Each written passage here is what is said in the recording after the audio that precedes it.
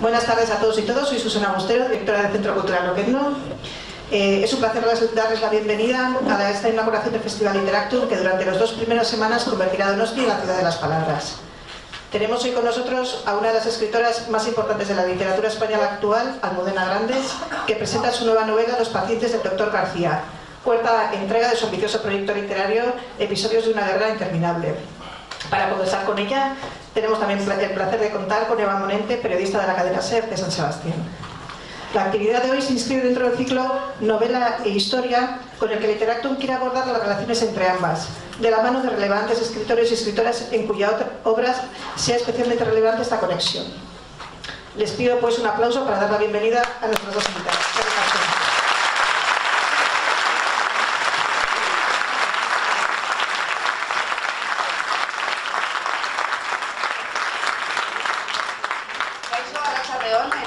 ongi etorria, modena gradesek idatzitako Los pacientes del doctor García liburuaren aurkezpenera. La verdad es que es un auténtico placer presentarles hoy esta cuarta entrega de los episodios de una guerra interminable que nos llega en forma de novela de 768 páginas con más de 200 protagonistas. Los pacientes del doctor García es un thriller, es una novela de espías, es la historia de tres impostores, como llega a decir en un momento dado uno de los protagonistas del libro. El hilo argumental es la red que se organizó en la España franquista para conseguir que criminales de guerra nazis evitaran ser detenidos y procesados por los gobiernos aliados.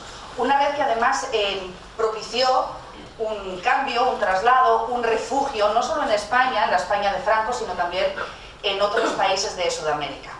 Cuenta la historia de dos republicanos, un médico y un diplomático, que van a conseguir infiltrarse en esa red y que mientras van a ayudar y van a permitir que personajes de oscuro pasado eh, puedan encontrar un refugio aquí y más allá de nuestras fronteras, eh, van, a enviar, van a enviar detallados informes también a los gobiernos aliados eh, y especialmente a Estados Unidos con el objetivo de conseguir que Franco caiga del poder.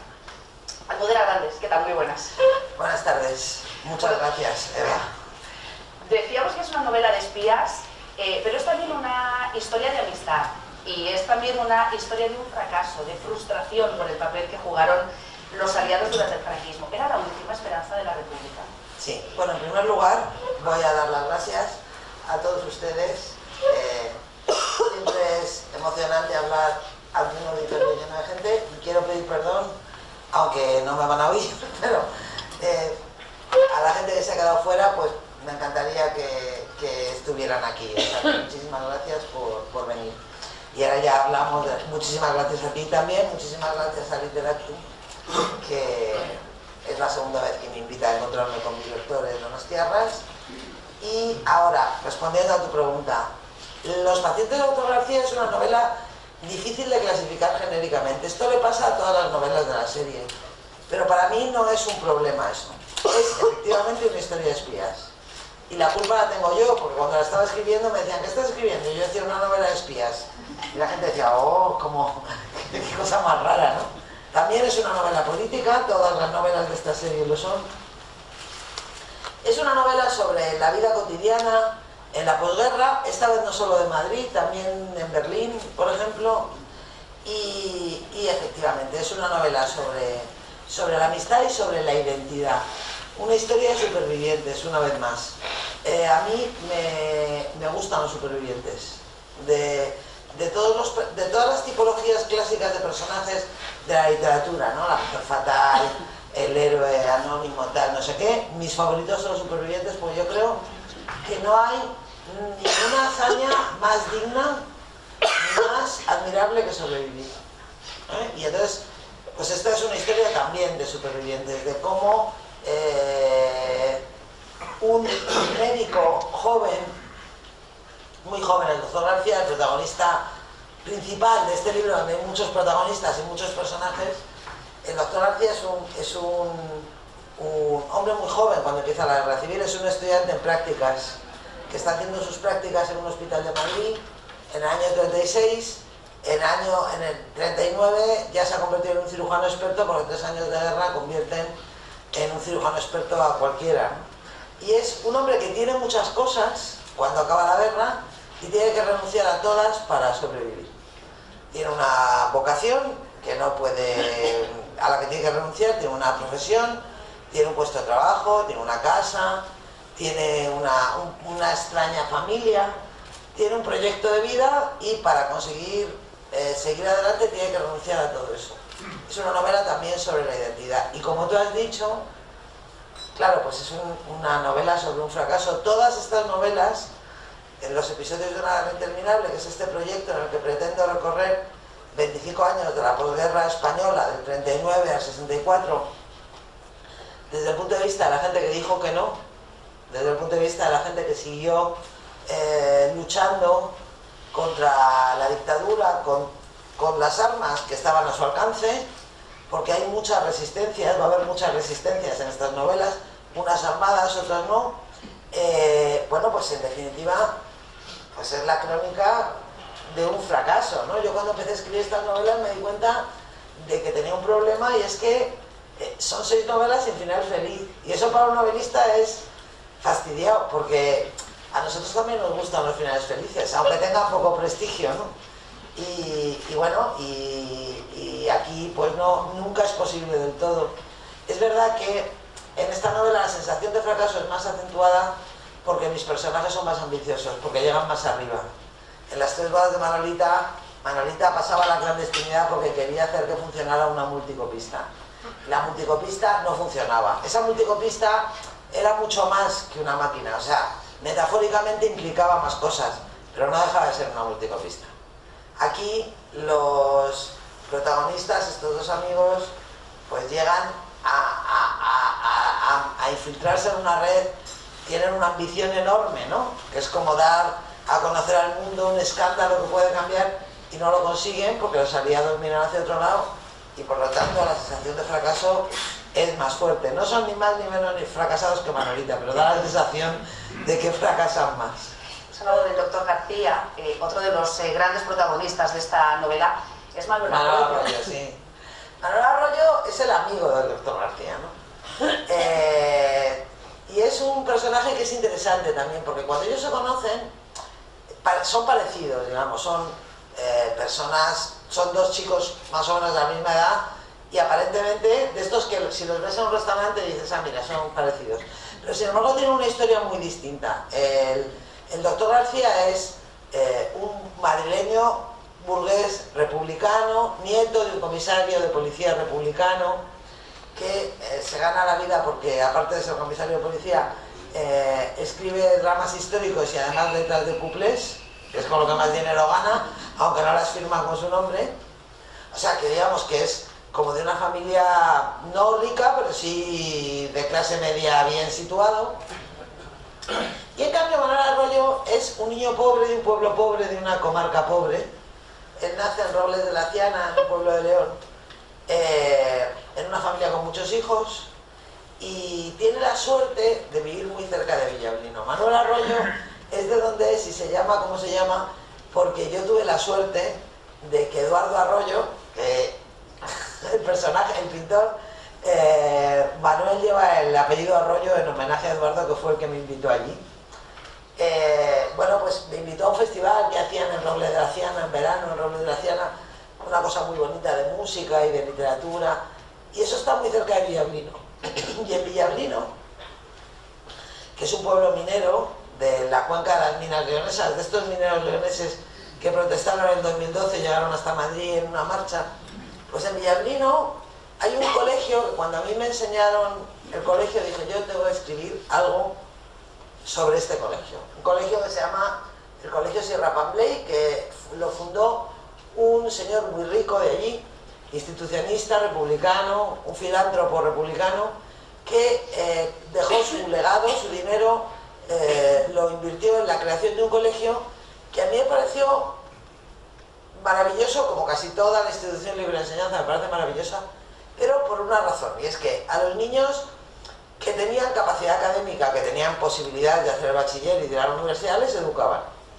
Pero a los que no podían, porque eran hijos únicos, porque tenían que cuidar de sus abuelos, por lo que fuera, les daban, estamos hablando de finales del 19 y de principios del 20, eh, una formación profesional cuando no existía el concepto de formación profesional. O sea, les enseñaban los oficios mejores mm, de la economía de la zona, para que en vez de ser mineros fueran capataces de la mina, para que en vez de ser pastores fueran capataces, para que en vez de ser braceros pudieran llevar una explotación agrícola. Entonces a mí me encantó esa, esa historia, me encantó ese colegio, y entonces es un homenaje también al colegio Sierra Pampley, el, el personaje Manolo, que es eh, un producto típico de la institución libre de enseñanza, pues un niño que estudia con becas, un niño inteligente, que estudia con becas y con becas y con becas y que luego, bajo la protección de Pablo Azcárate, un personaje real, que un, filántropo republicano, un diplomático republicano, también leonés muy vinculado a, la familia Sierra Pampley, pues llega a hacer una carrera, trabaja en la Sociedad de Naciones de Ginebra, trabaja en la Embajada de España en Londres, y en el año 37 eh, el presidente Negrín, al que conoce desde que es pequeño, porque es uno de los patrones, de los patronos de, de su colegio, le encarga un, una misión y le convierte en algo así como en un agente secreto, bueno, en un, sí, en un agente del gobierno, digamos. Y ahí empieza su carrera de espía. Manolo es el verdadero espía de los protagonistas de esta novela. No vamos a hablar de los 200 porque estaríamos aquí hasta mañana. No, no. Pero sí quiero al menos eh, hablar de un personaje femenino, Ah, que además ah, es un personaje real, Claro. y es eh, Clara Stauffer, Sí. que, que precisamente creo que tú al conocer eh, la obra y milagros de esta mujer es cuando te decides a, a escribir sobre esto. Clara fue el motor de esta novela, o sea, Clara es lo que a mí me ha empujado a escribir esta novela. Yo descubrí a Clara en 2006 y me acuerdo perfectamente porque era el libro donde la encontré, acababa de salir a la calle, eh, en una época en la que yo leía sobre franquismo y cualquier cosa, o sea, franquismo y cocina, franquismo y filatelia, lo que fuera. Porque me interesaba mucho, porque estaba muy enganchada, porque solo leía eh, cosas de historia contemporánea de España, ¿no? Y entonces encontré un libro en la mesa de novedades de un VIPS, o sea, es que me acuerdo de todo, que se llamaba La guarida del lobo, sobre nazis y el franquismo y los nazis. Y al llegar a casa, mirando las fotos, porque yo soy como todos, entonces también si hay fotos, miro las fotos, me encontré con Clara Stauffer, la foto de una señora singular en bañador, con una copa en la mano, y bueno, lo que más me impresionó de ella al principio fue la dirección de su casa. Porque Clara vivía en el número 14 de la calle Galileo. Y la calle Galileo es una calle de Argüelles en Madrid, pero muy, muy, muy transitada. Es curioso eso, porque en cualquier calle paralela me habría impresionado menos, pero en la calle Galileo, que no es muy larga, hay un teatro, hay una sala de conciertos, que es una sala de conciertos que lleva 30 años funcionando, que es imposible vivir en Madrid y no haber ido a esa sala, es prácticamente imposible. Y hay un centro del ayuntamiento, un centro como este, donde todos los niños de los colegios de Chambería hacen las fiestas de fin de curso, los, los conciertos de fin de curso, las fiestas de Navidad y tal. O sea, yo he ido muchísimo a la calle Galileo. Me impresionó mucho haber pasado tantas veces delante de una casa donde estaba pasando esto. Y luego me impresionó la historia de Clara. Clara es una mujer extraordinaria y para un novelista era un regalo, era un regalo, porque ella está llena de facetas, no es, no es una mujer fácil de resumir ni... Ella nació en Madrid en 1904, hija de, padres alemanes, pero no eran dos padres cualesquiera alemanes. El padre era el maestro cervecero, eso que está tan de moda ahora, de la fábrica de Mau de la calle Maniel. Y la madre era una Loewe, de los Loewe, de las tiendas Loewe de los Loewe.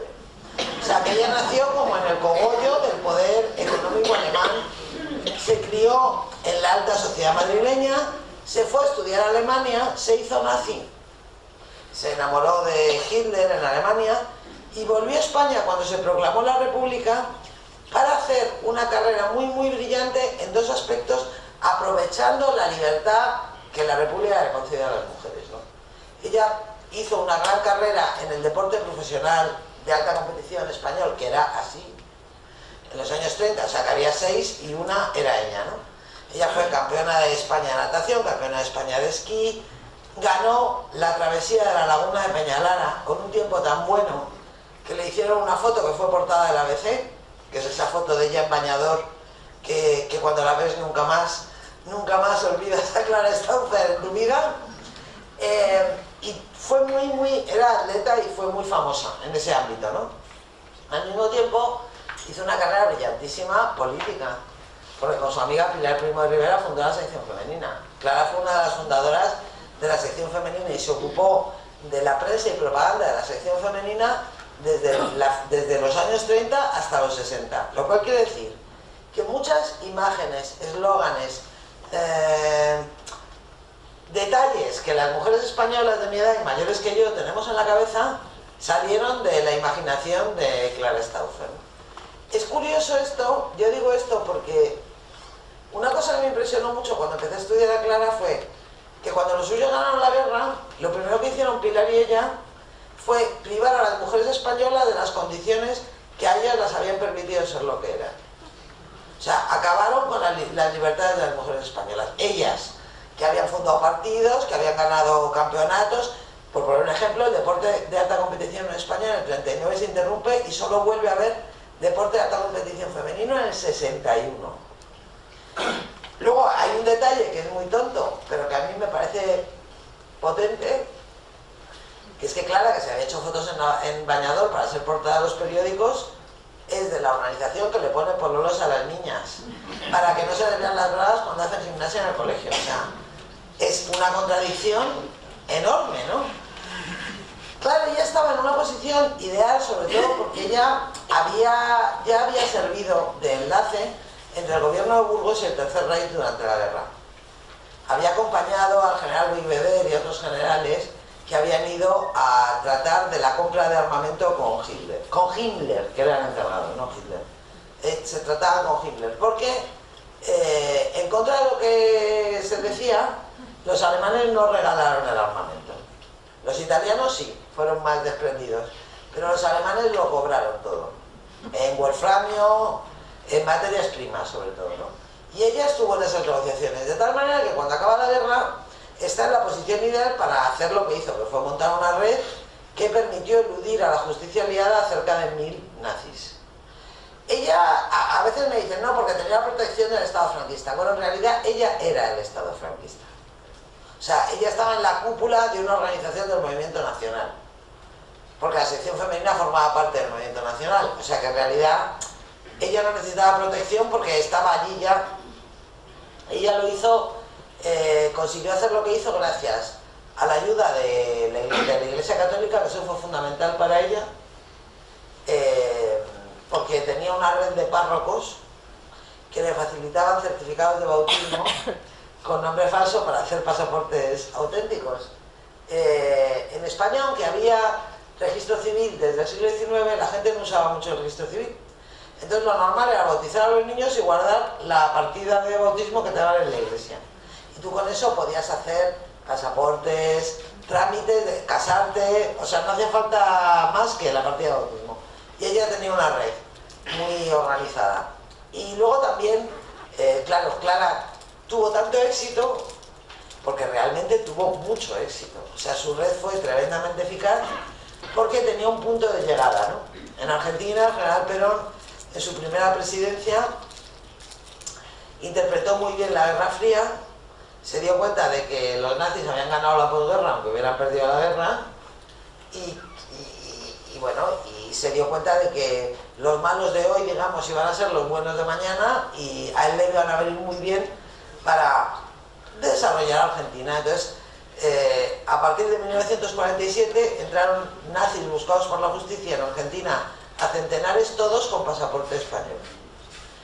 Pero lo fascinante de Clara es que, aunque Clara trabajaba para el mal, porque los, criminales de guerra del Tercer Reich son el mal, incluso más específicamente son la quintesencia del mal, sin embargo ella era una mujer, que eso es lo que me sorprendió a mí más, enormemente abnegada, sacrificada, a ella todo esto le costó dinero, cuando tanto nazi y tanto franquista ganaron dinero con todo esto, ella, ella, a ella esto le costó dinero, tenía la casa llena de armarios con ropa de hombre de todos los tamaños, con zapatos de todos los números.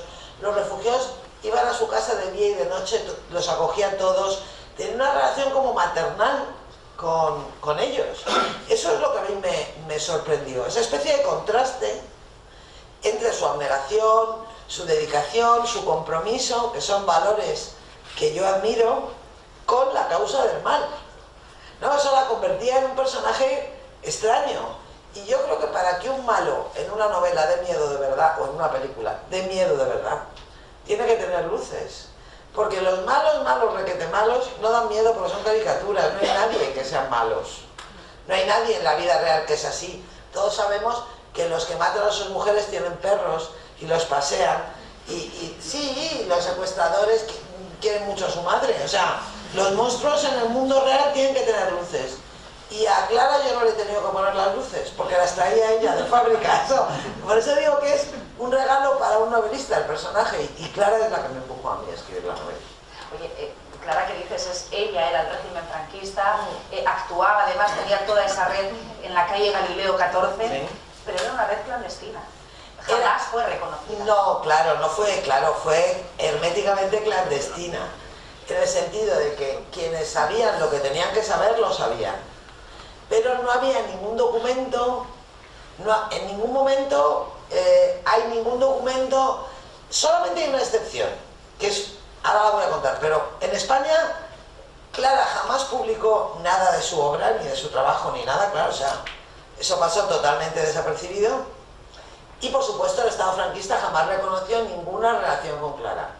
Hubo una excepción que yo la cuento en el libro de un periodista británico que en 1948 él había nacido, un periodista que había nacido en Hamburgo y que hablaba alemán como un nativo. Y en 1948 este hombre se presenta en Galileo 14 hablando en alemán. La portera, que estaba muy acostumbrada, ya le dijo a qué piso tenía que ir. La portera ya pasaba, ya estaba, tenía un tráfico de alemanes allí tremendo, un hombre que llega a la casa de Stauffer, se presenta y se presenta como un refugiado alemán que le han dado el nombre de Clara. Clara en Centro Europa era una leyenda. O sea, entre las asociaciones de antiguos nazis había algunas que tienen nombres que parecen chistes. Había una que se llamaba España en Odertot, o sea, España o muerte. Y en esos ámbitos ella era una leyenda. Entonces, este señor entró y cuando ya estaba dentro y cuando ya estaba hablando con el secretario de Clara, dijo quién era. Dijo que era un periodista británico que quería entrevistarla para el Daily Express. Y Clara, que ahí fue valiente, porque ella era valiente, le recibió.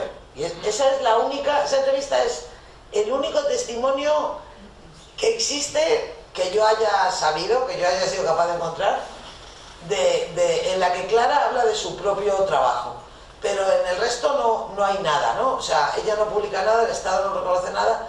Afortunadamente, pero que tenía las manos libres y sí fundó en Argentina, afortunadamente para mí, desgraciadamente para la justicia universal, pero afortunadamente para mí, pero fundó un organismo oficial para recoger a esta gente, ¿no? El Servicio de Acogida de Refugiados Europeos. Esto lo fundaron seis eh, ex-nazis y colaboracionistas que todos habían pasado por Madrid, todos eran amigos de Clara, todos habían entrado con pasaporte español, todos estaban muy vinculados con Madrid. Bueno, con Madrid no, con España, ¿no? Habían vivido en Madrid, pero estaban vinculados con la España Franco. Entonces, el SARE sí tuvo archivos. Y esos archivos sí existen. Y se han podido investigar. De tal forma que, gracias a los investigadores argentinos, yo he podido reconstruir muchos viajes que de, España a Argentina no, no, tengo, no he podido probarlos, pero en cambio de Argentina a España se pueden reconstruir, ¿no? Porque allí sí que hay, pues eso, documentación de quiénes llegaron, de cómo llegaron, de con qué pasaporte, de lo que contaron, de, de dónde venían. Y entonces, la verdad es que ha sido muy complicada esta novela desde el punto de vista de la documentación, pero pero si en Argentina habría sido imposible, imposible de escribir. Hay dos momentos bastante amargos en este libro, cuando Manolo, nuestro espía diplomático, está en Argentina y recibe la noticia de que nadie va a hacer nada porque eh, Franco salte del poder y le responde al delegado estadounidense, y tanto que ha cambiado el mundo. Ahora mimáis a vuestros enemigos, invertís millones de dólares en Italia y Alemania, Los habéis convertido en países democráticos, les habéis devuelto su independencia, su orgullo y su dignidad. Pero los españoles no merecemos tanto, no merecemos nada, aunque fuimos los únicos que luchamos contra el fascismo. Sí, es verdad. Y hay otro momento, en España en este caso, que otra de las personajes que... Bueno, qué bien te has leído la novela, Eva. Muchas gracias. En el que otro de los personajes, que en este caso es Rita, dice, ¿a cuánta gente más, cuánta gente más tiene que matar? ¿A cuántos asesinos más tiene que proteger en referencia a Franco? Y nosotros, ¿qué hemos hecho nosotros para que nos vaya peor que a los nazis? ¿Por qué no valemos nada? ¿Por qué nunca le importamos a nadie? Bueno, esa es la conclusión. Esos dos momentos son como muy terribles. Eh, mi amigo Benjamín Prado me- en el primero me dice, bueno, ahí seguro que lloraste. Y sí que lloré un poco de rabia mientras explicaba esto en un jazz bar de la calle Lavalle en Argentina. Y lo de Rita, pues también es una, una frase que escribirla me hizo daño. Ese momento... Pero es que esa es la es consciente, ¿no? Claro. que realmente ha pasado en la historia de Claro, esa es la conclusión de, de esta novela, ¿no? Es la conclusión, la el final de los personajes es el final de la historia y es eh, la explicación de, de nuestras vidas, ¿no? O sea, ¿por qué eh, después del 45, cuando se acaba la guerra mundial, los aliados deciden que Franco les gusta más que los demócratas españoles. Y entonces, efectivamente, nosotros no somos conscientes de lo que dice Manolo ahí. O sea, a finales de los 40, en las potencias del eje había democracia. Había democracia, había partidos, había dignidad y había gente que luego nos miraría por encima del hombro.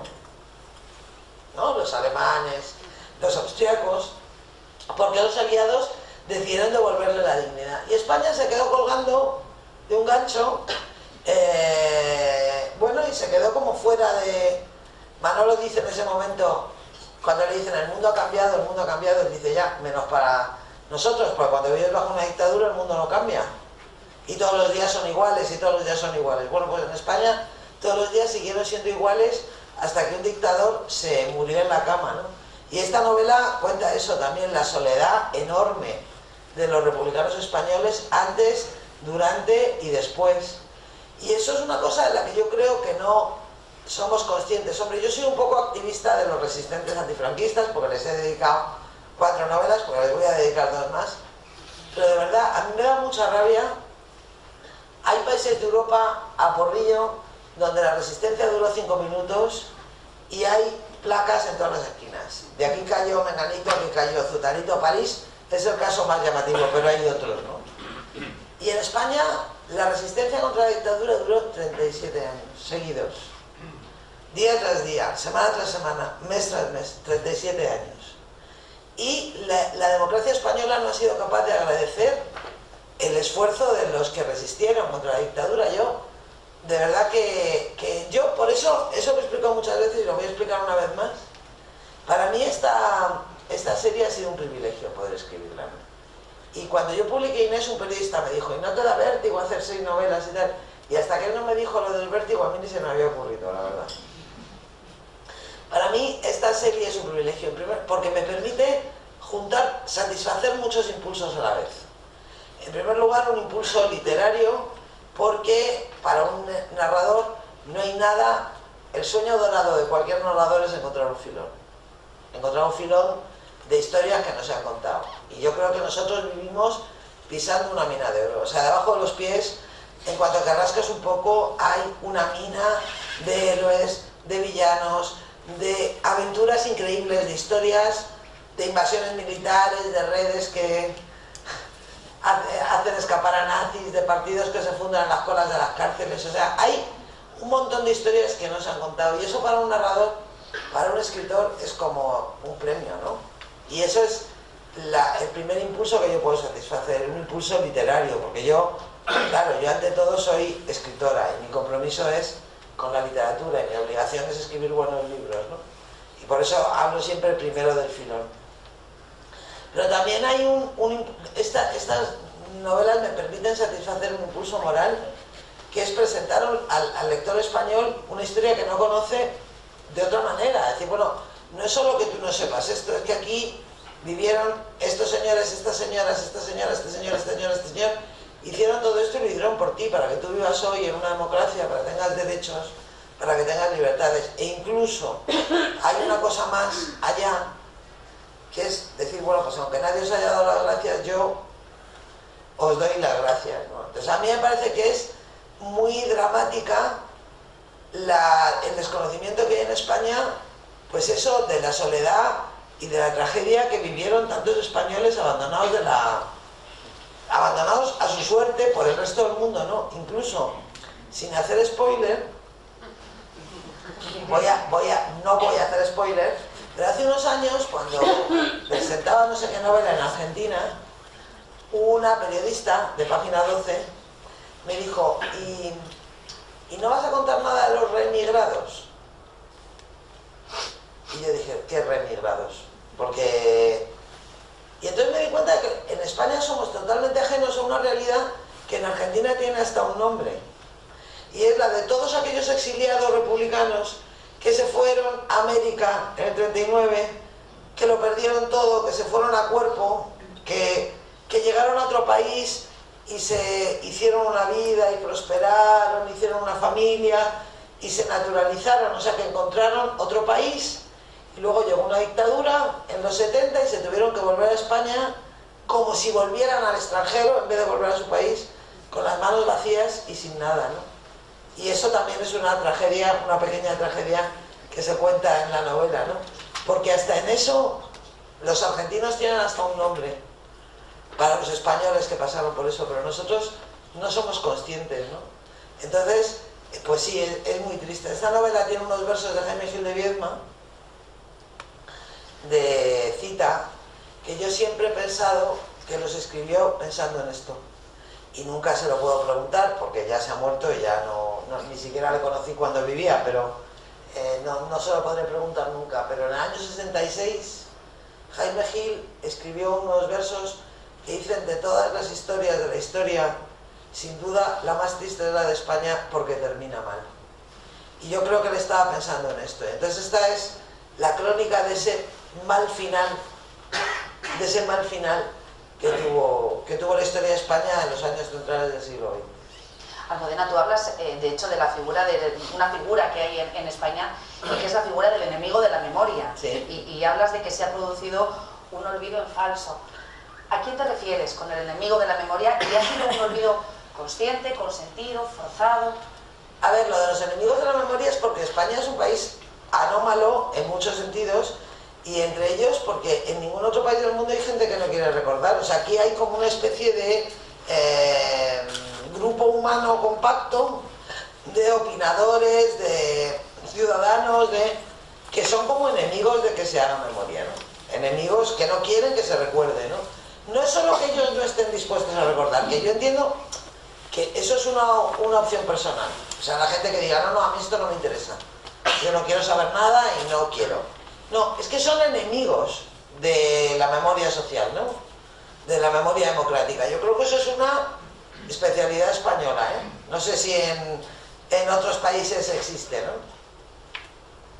Y, yo creo que es que, bueno, yo soy muy crítica con esto, lo he dicho muchas veces, y ahora con la Cataluña se me entiende más, es lamentable que tengamos que llegar al borde del precipicio para que se entienda lo evidente, ¿no? Pero yo creo que realmente en la transición, eh, eso que pareció un milagro, que pareció una proeza, ¿no?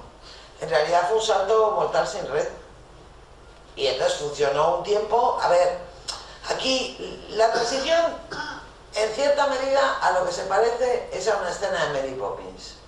Hay una escena, hay un momento en Mary Poppins, que es una película que habrán visto todos los de mi edad, que la institutriz sale de la casa con dos niños y hace muy mal día y está nublado y entonces va a llover. Y los lleva al parque y entonces en la puerta del parque está ese amigo suyo polivalente que hace de todo, de desollinador, de bailarín, pintando en el suelo, con una estera, ¿no? Entonces Mary Poppins elige un dibujo y le dice a los niños, eh, cerrad los ojos, cogerme las manos y saltar. Entonces se cierran los ojos, se cogen de las manos y saltan a un mundo de dibujos animados donde eh, los caballos del yogur corren el derby y donde todo es maravilloso y hace sol y los pájaros bailan y los peces cantan ópera y todo es estupendo. Bueno, pues la transición fue un poco así, o sea, a los españoles les dijeron, ah, nos vamos a coger de las manos vamos a cerrar los ojos, vamos a saltar y ya lo que hayamos, lo que esté al otro lado de la raya ya lo hemos dejado atrás. Ya lo hemos dejado atrás y la clave para progresar es olvidar. Entonces yo creo que la democracia española nació con una fragilidad congénita. Con una, porque yo por, lo por otra parte, yo comprendo, yo no, no me paso de, de, terrorista, soy justo. Soy terrorista, soy lo justo, no mal. O sea, que yo no digo que la democracia española no sea homologable en otros aspectos o no sea una democracia madura y tal, pero tiene una fragilidad congénita que es su relación con el pasado. Y España es el único país de, Europa, tanto de la Europa del Este como de la Europa del Oeste, que ha fundado una democracia después de un, de un, de un periodo de gobierno totalitario y no ha empezado su etapa democrática con una declaración solemne de condena a la dictadura del Parlamento. Eso aquí no lo ha habido. Lo ha habido en todos los países del este y del oeste, aquí no. España es la única democracia de Europa que no ha fundado su libertad en su propia tradición antitotalitaria. ¿No? Como en Hungría con los del 56, en, en Chequia con los del 68, en Francia con la resistencia antinazi o en Italia. No, aquí no. Aquí la resistencia ha estado totalmente ausente de, del nacimiento de la democracia. El Partido Popular es el único partido de derechas de Europa que no se ha esforzado en hacer una línea y decir yo no tengo nada que ver con el fascismo precedente, al revés. Al revés, Rafael Hernando dice lo que dice cuando se le parece, ¿no? Me estoy esforzando por no decir palabras más Entonces, eh, claro, mmm, es muy complicado porque esa decisión de integrar alegremente a la derecha franquista y a la izquierda que había vuelto del exilio en un Estado nuevo sin reivindicar la tradición republicana y sin condenar el franquismo, eso parece un milagro, pero al final fue una temeridad y está dando ahora, se está viendo hasta qué punto fue una temeridad. Entonces, la derecha cree que este país es suyo, porque lo han heredado de sus abuelos que por eso ganaron la guerra. La izquierda parece que les da la razón, porque cuando llegan al poder están asustados y se comportan como si estuvieran realquilados en el poder. ¿Qué quiere decirles? No. O sea, realquilados no. O sea, este país ahora es vuestro hacer el favor de hacer cosas, ¿no? Si el Partido Socialista en la época de Felipe González hubiera hecho algo mínimamente sensato, ahora no estaría yo diciendo esto, ¿no? Pero es verdad que la izquierda llega al poder y se acomoda un poco. Entonces, ahora por ejemplo, esto que ha pasado con la Cataluña, España es un país completamente lleno de disfunciones sociales, o sea, es un país absolutamente anormal. Hay millones de españoles que nunca van a ser de otro país. Porque bueno, vosotros podéis ser vascos, los catalanes pueden ser catalanes, pero los de Palencia van a ser españoles, o yo misma. Yo toda la vida voy a ser española sin remedio. Y hay mucha gente, no, y para mí no hay ningún problema ser española, a mí me gusta, yo no tengo ningún problema con esto. Si no, no le dedicaría tanto tiempo. Pero hay muchos españoles que viven España como una idea ajena, como una idea de derechas, como la banderita de los fachas. Entonces la izquierda española no tiene patria, pero asume la patria de los nacionalismos que son de derechas, que son clericales, que son insolidarios, o sea que España es el único país del mundo donde la izquierda apoya los nacionalismos, o sea, somos un país muy raro, un país muy raro, y esa rareza que nos, que nos destrozará como no seamos capaces de, de normalizar la, nuestra relación con el pasado, viene toda de ahí, fíjate, hablando de corrupción, esto es un,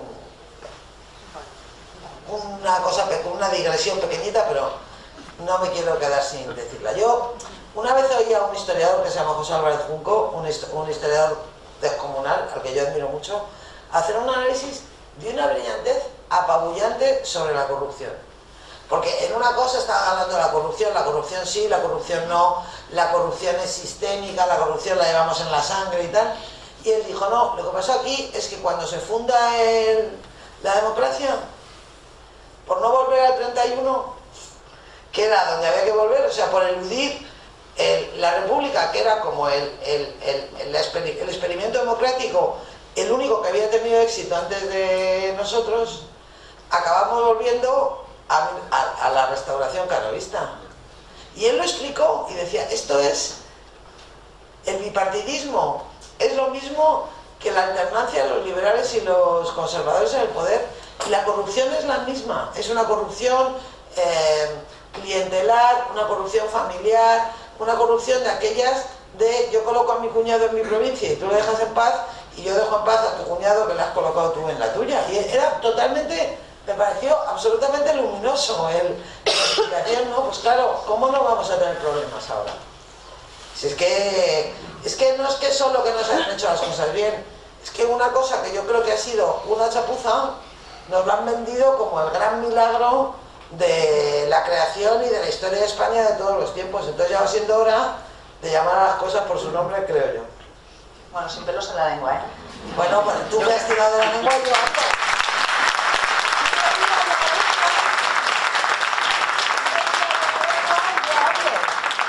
Claro, pero también por otro lado dices, coño, perdón, sabía yo de, que te dicen, no, es que eres muy valiente. Y dices, ¿valiente por qué? ¿Pero por qué? ¿Pero por qué? Vamos a quitarnos ya eh, o sea, si las palabras no hieren a nadie, no hacen daño, porque no se va a poder hablar de todo, hay que poder hablar de todo. Lo que hace falta en este país es hablar. Como ha quedado claro en, los últimos meses, aquí lo que hace falta es hablar.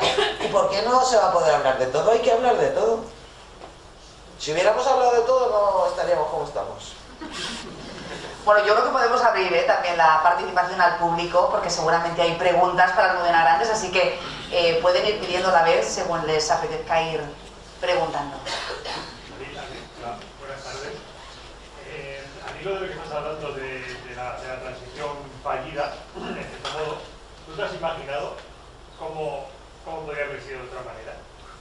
Porque está claro que fue una época crítica en la que hubo muchos intereses y había que compaginar todo. Me vas a seguir tirando la lengua. Vamos a ver, yo nunca he investido contra la transición como otra gente, porque yo tengo memoria, yo me acuerdo de cómo eran las cosas. Yo me acuerdo de aquella semana de enero del 77, en la que hubo siete muertos en Madrid. Momento que voy a aprovechar para decir que en todo el año 36 no hubo en ningún momento siete muertos en Madrid, lo cual explica cómo una violencia puede servir para justificar un golpe de Estado y otra violencia no sirve para empañar el relato dorado de una transición impecable. Esto es un paréntesis, pero yo me acuerdo, y me acuerdo del miedo que tenía mi madre cuando iba a la universidad, y me acuerdo de cómo eran las cosas, y me acuerdo del 23F. O sea, yo estoy dispuesta a aceptar que vamos, estoy dispuesto a aceptar, no, yo acepto que la transición fue la obra de una generación de españoles que hicieron honestamente lo que creían que tenían que hacer. Y además que lo hicieron de la única forma que podían hacerlo. Porque los autores de la transición, que era gente de la generación de mis padres, habían sido españoles educados en el silencio absoluto. Educados en el silencio, eh, en cuyas casas no se había hablado de nada, eh, bueno, de esa generación de posguerra eh, para la que eh, cuando preguntabas, pues te decían que no hablaras de cosas desagradables. O sea que a mí me parece, eso me parece razonable, ¿no?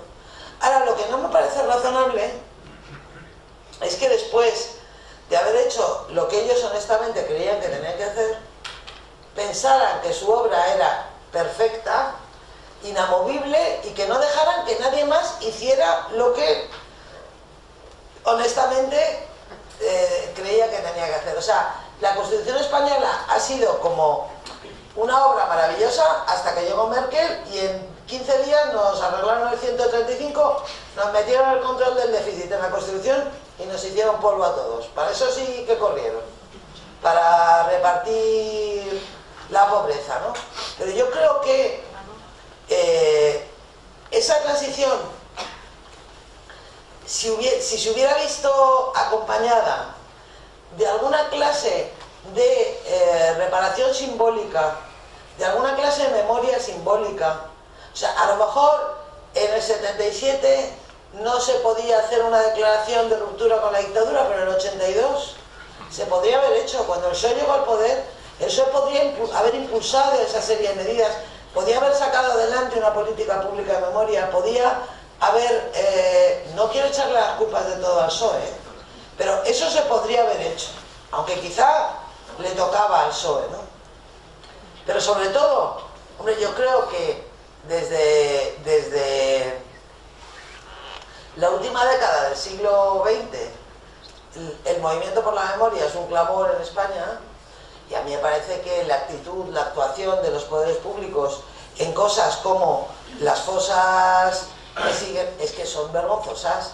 O sea, y además la prueba de lo mal que se han hecho las cosas es que es tremendo oír a la gente valorar ideológicamente este tema.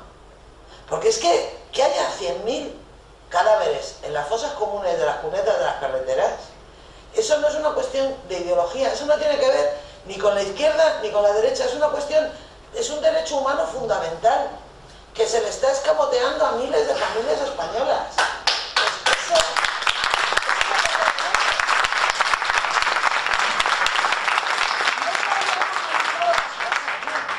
Ese tipo de iniciativas. ¿Por qué crees que el, el, gobierno de Felipe González lo hizo? ¿Por ese complejo que tú hablas? ¿O está maniatado para, para no hacerlo? Pues fíjate, yo creo que por ese complejo que yo hablo, ¿eh? de verdad. Yo creo que porque llegaron como con mucho complejo y pues, bueno, luego además, yo no he estudiado esto, ¿eh? yo no, no lo he estudiado, pero probablemente también eh, si en Suresnes en vez de Felipe González hubiera ganado Nicolás Redondo, que era un hombre vinculado a las luchas de la dictadura, era más mayor, las cosas habrían sido de otra manera, pero tampoco quiero hablar, tampoco he estudiado mucho, pero parece ser que la socialdemocracia alemana, que invirtió muchísimo dinero en España, prefería otro tipo de gente. Por eso te digo que es curioso cómo nos miran por encima del hombro algunos países de Europa, que dicen, bueno, pues ya me contaréis, ¿no? Entonces, no, yo creo que de verdad que sí que hay un complejo. Y en ese sentido, yo creía que la primera legislatura de Zapatero iba a servir de ejemplo, porque en la primera legislatura Zapatero de repente se sacudió el complejo, hizo un montón de cosas y no pasó nada. Y eso tendría que haber sido la prueba de que, de que no pasaba nada, ¿no? Que todo lo que hizo él y no pasó nada. Luego llegó la crisis, se arrugó, en fin, ya sabemos lo que pasó. Y nada, este sigue siendo un país muy desgraciado. De mala suerte, digo, no de, de otra cosa. Sí. ¿Más preguntas? Creo que tenemos un, micrófono. Tenemos un micrófono. Perdón, sí. Buenas tardes, gracias por todo, Almudena. Y hablando de la fragilidad congénita de nuestra democracia, con la que estoy totalmente de acuerdo, bueno, estoy de acuerdo con todo lo que, bueno, lo que has dicho. He leído todas las novelas, estoy absolutamente de acuerdo con todo.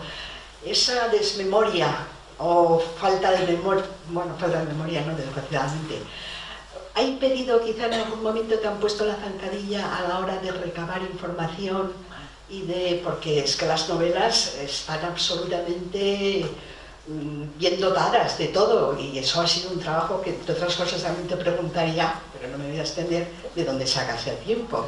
Ah, bueno. ¿Eh?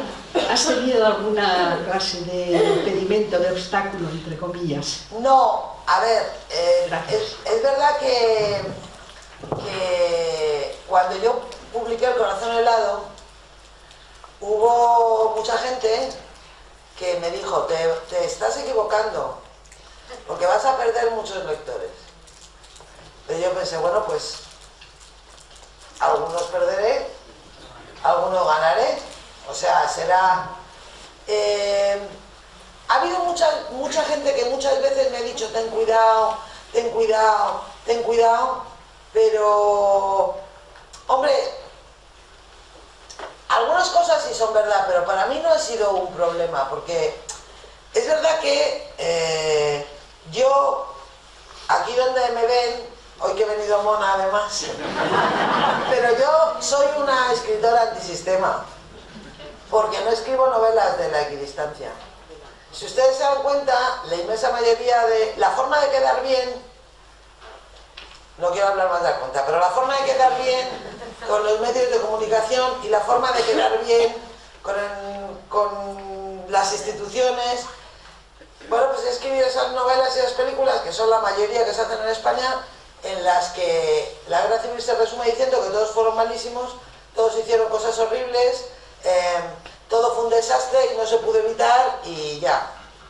Entonces yo no, no escribo esas novelas porque yo creo que otra de las anormalidades de este país es que España es el único país del mundo donde hubo una guerra entre demócratas y fascistas y todavía hay gente que no sabe quiénes eran los buenos y quiénes eran los malos. Yo creo el único país del mundo y que conste que no hablo de historias personales. Porque buenas personas y malas personas había en los dos bandos. Porque de vez en cuando alguien levanta la mano y me dice, pues mi abuelo era requete y era muy bueno. Cosa que no dudo. O sea, que no hablo de buenas personas y de malas personas. Hablo de, de los valores que encarnaban cada, cada bando, ¿no? Entonces, el hecho de no ser neutral y de no ser equidistante, eh, hombre, a lo mejor me ha perjudicado en, en determinadas situaciones. Pues porque no, a lo mejor pues, ha, evitado que me inviten a determinados sitios o me ha descartado de determinados premios, etc. Pero eso para mí no es muy importante. Y dificultar mi documentación, pues probablemente. O sea, a lo mejor hay gente que me habría respondido si yo no fuera yo. Pero como yo soy yo, tampoco...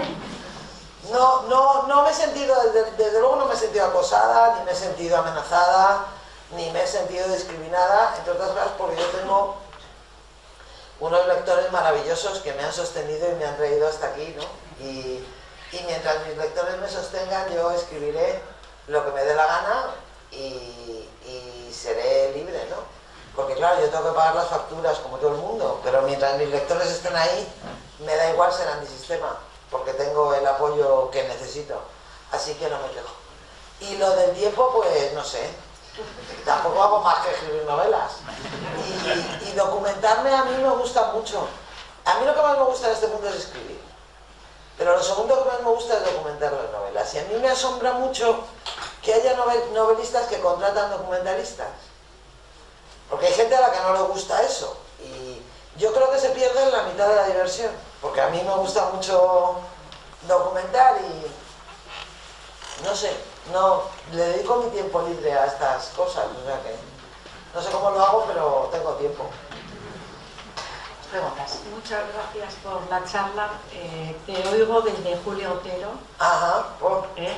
la torta de años. Sí. Eh, mmm, te quería comentar lo de los periodistas, cómo, cómo no han dicho la verdad de lo que estaba pasando en el país desde, pues desde que empezó la democracia, quizás por tapar, por conservar para que no los militares se levantaran, eh, lo que hacían los reyes, lo que hacía todo, todo como que ha sido todo un engaño. Bueno, y nos yo... hemos visto todos muy engañados, muy engañados. Hemos estado todos muy engañados. Muy engañados. Yo no sé si será justo decir que todo ha sido un engaño. Uy, ah, yo no sé si es justo decir que todo ha sido un engaño, pero sí es verdad que ha habido, que ha habido muchos, mu- muchas eh, rayas rojas, ¿no? Y muchas cosas que no se contaban. Y todavía eh, la monarquía sigue siendo una especie de tabú, no tanto como antes. No la, no la monarquía. Sí, sí, bueno, la monarquía es, llama- es significativa porque es como, sí, sí, sí, sí.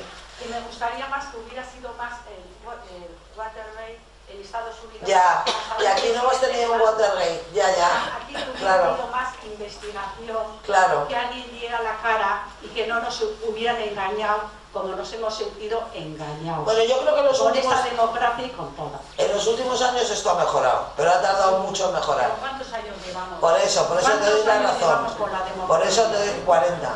Lo mismo que con el ¿Y franquismo. cuándo han empezado a salir, a salir nuestra Constitución? Hace muy poco, sí, sí, tienes razón. Sí, sí, sí. Sí, bueno. También hay mucho miedo, ha habido demasiado miedo en este país.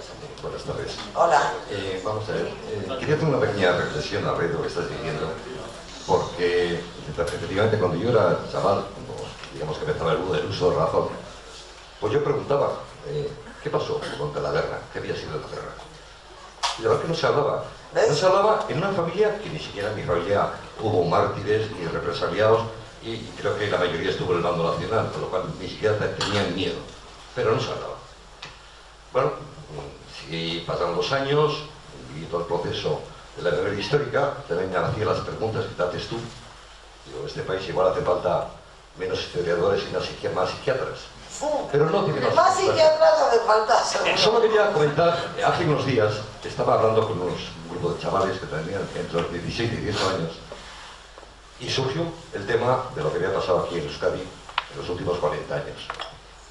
Y me asombró el absoluto desconocimiento de los, de los chavales que podían tener eh, 11 o 12 años cuando ETA eh, deja de, de Es, sorprendente eso. Fíjate, como no vivo sí, aquí no me sí. hacía la idea. Y les pregunté, bueno, pero vosotros, eh, tus padres no te han hablado de nada, tú no has preguntado, ¿qué te han dicho? Bueno, sí, ahora te he preguntado, pero la verdad que no les gusta hablar de eso. Mi pregunta es, ¿también ahora vamos a tener cunetas, tumbas en las cunetas?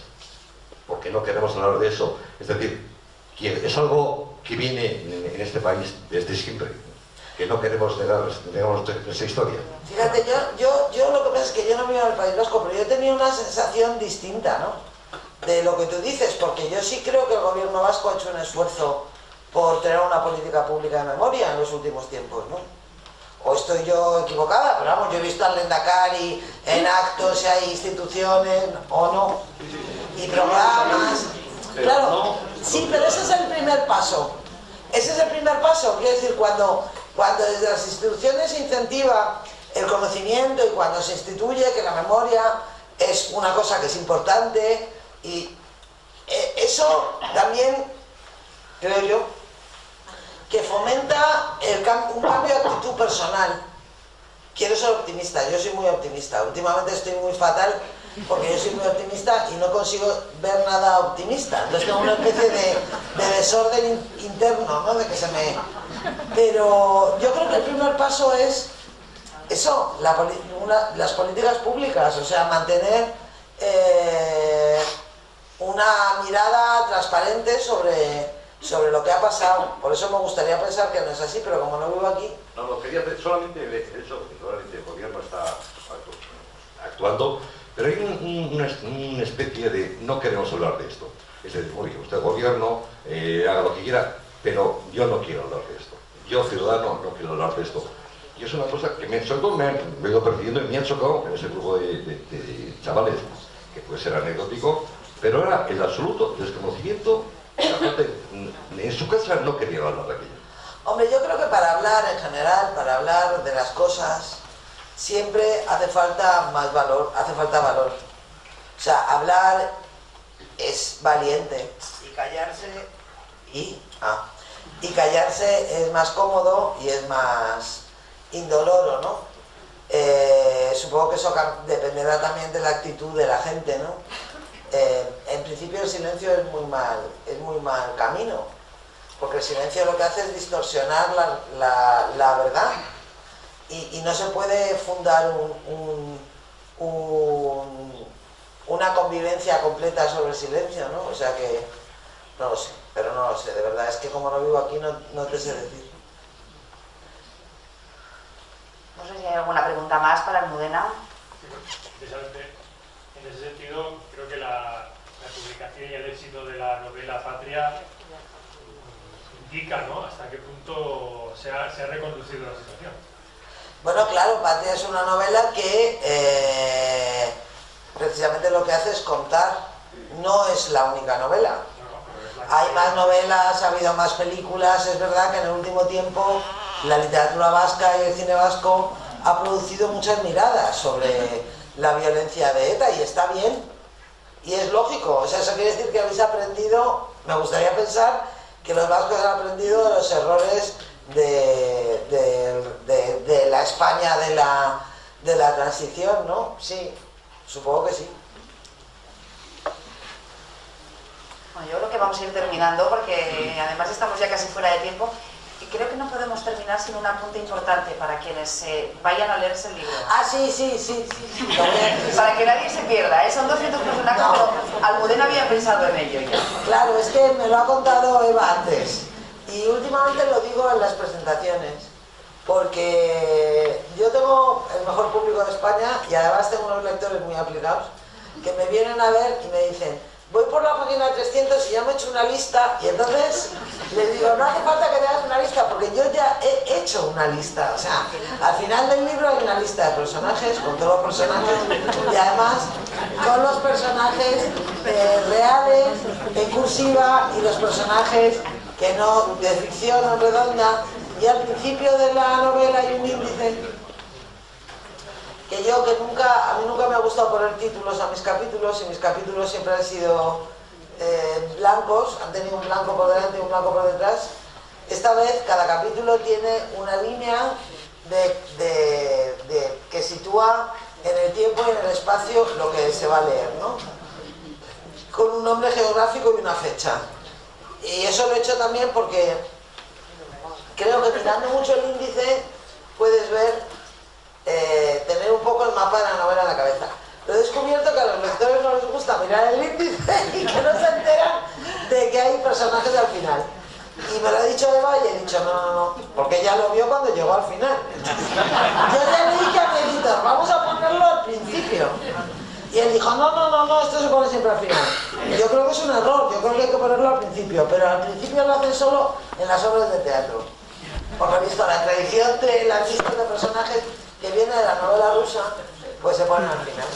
Y entonces, pues, pues nada, que no hace falta que se hagan ustedes un, un mapa ni nada, porque ya lo pongo yo al final del libro. Bueno, que nos esperan dos novelas más, ¿eh? De, de los episodios de una guerra interminable. Además, alguna creo que va a tener como La última- escenario y. La última novela de la serie, eh, sí, va a terminar en Eibar. Eh, es una historia que, la que se funden la, la oposición de, de- de- de- la guerra, la que venía de la guerra, y la nueva oposición de los sindicalistas eh, que, que- que fundan comisiones y que reflotan UGT en los 60. Y es una historia, eh, una novela que tiene varias historias reales detrás. Eh, la principal una que me contó Nicolás Redondo, el padre, que a él en los 60 le, le desterraron a Extremadura, porque el franquismo desterraba a los sindicalistas con un patrón fijo. A los vascos los mandaba a Extremadura, a los catalanes a Andalucía y a los madrileños a Canarias, gracias a lo cual en el año 61 se fundó el Partido Comunista de España en Canarias, que no existía, porque lo fundaron unos que fueron allí desterrados. Y, y Nicolás me contó su experiencia de desterrado en un pueblo extremeño y, nada, y esa novela, la última, a contar la historia de un topo y de cómo la audacia de una niña eh, consigue sacarlo de casa y traerlo ahí para vivir. O sea, yo a los de Eibar es que me están llamando por teléfono desde el principio de la serie y ya les he dicho que lo siento, pero que es que yo esquivo despacio y que voy a tardar un poco en llegar, vamos que llegaré, llegaré, llegaré a Eibar. Bueno, hombre, no, tenéis que llegar todas, tenéis que llegar todos, porque voy a pasar lista. O sea, que- Nos quedamos con los pacientes del doctor, del doctor García porque eh, además de lo que novela de intriga tiene, que la tiene, es verdad que nos ayuda a ser un poquito menos ciegos sobre la que ha ocurrido eh, con la historia de España y que muchos han tratado de ocultar y seguramente todavía lo intentan. Lo dicho, que es un Muchísimas gracias, placer tenido Muchas aquí. gracias.